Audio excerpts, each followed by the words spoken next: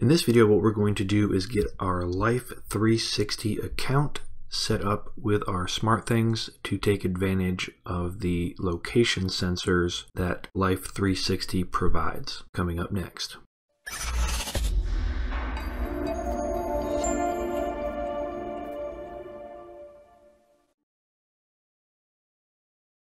Hi, this is Justin from Simply Smart, where we make smart home technology as easy as one, two, three. So if you're interested in smart home technology, consider subscribing for more content like this. And in this video, what we're going to do is get our Life 360 account set up with our SmartThings to take advantage of the location sensors of the Life 360 app. So what you need to do first is obviously download the Life 360 app and I already have it installed. Um, looks like they have an update, so I'll go ahead and update mine real quick. And once you open the Life 360 app, if you haven't signed in yet, you're going to have to sign in. So that would be um, the first step that you would have to do. For some reason, I cannot find a way to sign out. And that's probably a good thing. That's why this always works because it's always logged in. And as long as you give the location permission on your phone, it will work. So you can see um, I have two people that are that have left the house here. Um, I just actually reconnected my phone today, and Lyra doesn't have her location permission set on her phone. Um, so I could just tap that and then send her a text message and let her know that hey, turn on your location for this to work. Um, so what this does is um, you can create um, a circle. You just tap at the bottom and then you would name your circle. And then once you have created a circle, you can invite people to your circle. You can just email them this code or send them a text message.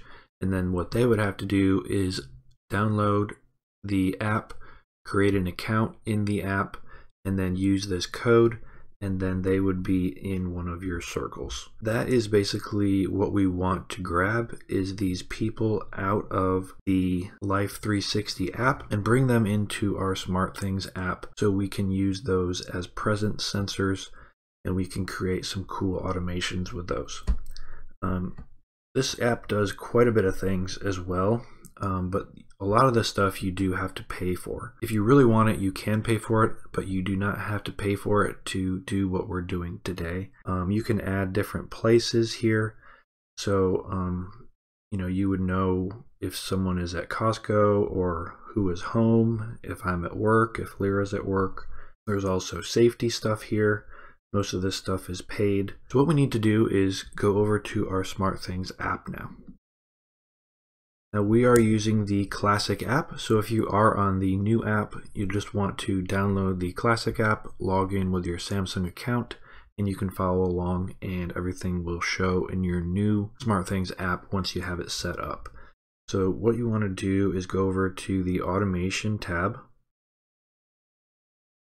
and go all the way to the bottom and click add a smart app. Okay, so once in the smart app section, you just want to go down a little bit where it says social, tap that, and you can see that there is a Life 360 Connect right here. You just tap on that, and then what it's going to say is um, click to enter your Life 360 credentials. Just tap that.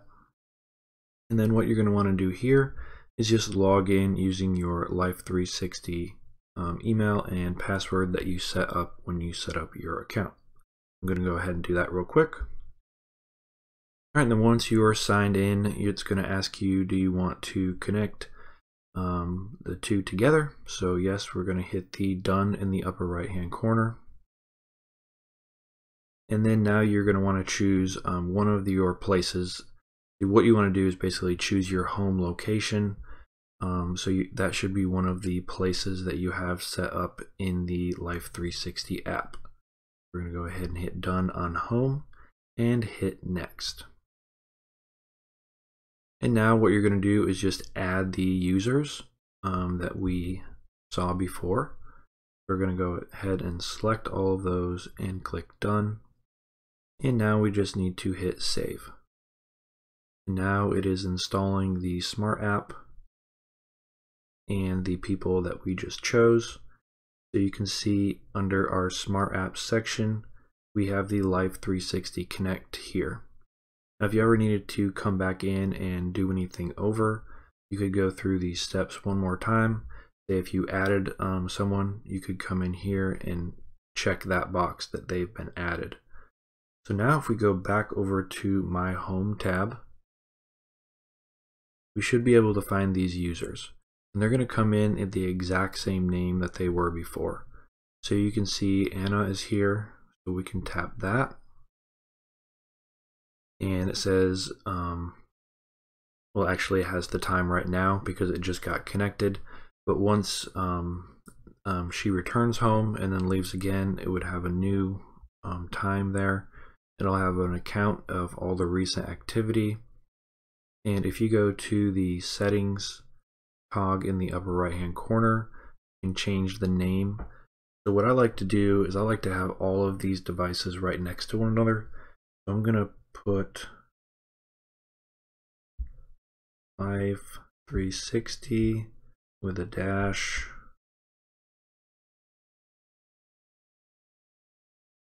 That. And then you could also set an, uh, image for the little circle. Just put Ari's head there and hit save. And now if we go back to the My Home section, slide down just to refresh it here, and it will disappear because we did rename it, so it's going to be further down in the list. And there we go. So we got a picture. And then what you would want to do is do the same thing with all of the rest of the people that you've added. So I'm going to go do that real quick. So we have Lyra right here.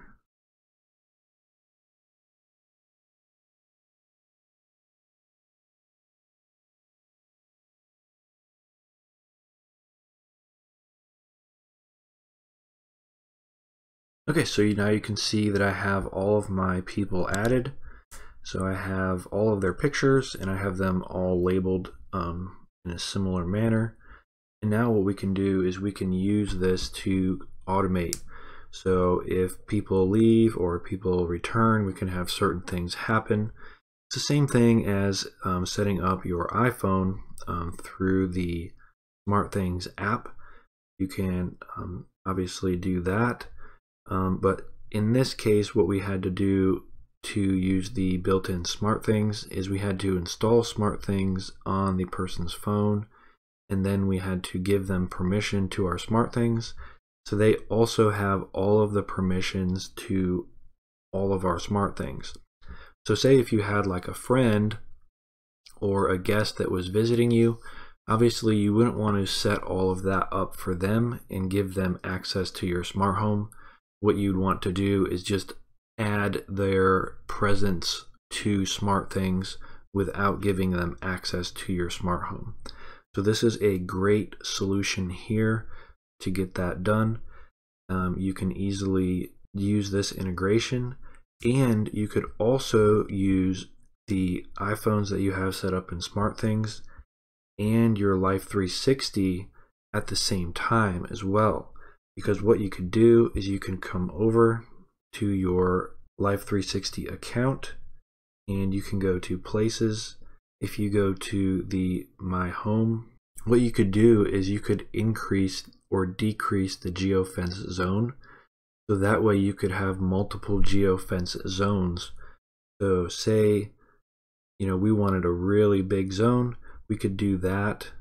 And um, if we're using the sensors that are connected to the Life 360 app, then the zone would be much larger than the zone that we were using on our SmartThings app.